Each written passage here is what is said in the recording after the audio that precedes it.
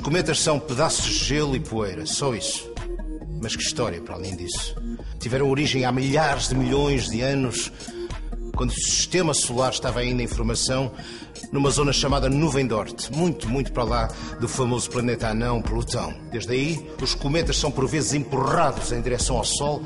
Ao chegarem lá perto, o seu material começa a vaporizar-se, é empurrado para longe e forma uma cauda que se alonga pelo espaço afora. E as estrelas cadentes? Essas são responsabilidade da Terra. Quando ela passa pela zona dos detritos, há de repente milhares de cabelos a arderem na atmosfera, abrem rasgos de luz no céu e vêm-se de cá. Os cientistas acreditam que os cometas possam ter carregado em si, nos primórdios da vida, os ingredientes da vida. Também a vida é rápida e lenta no seu passar pelo céu.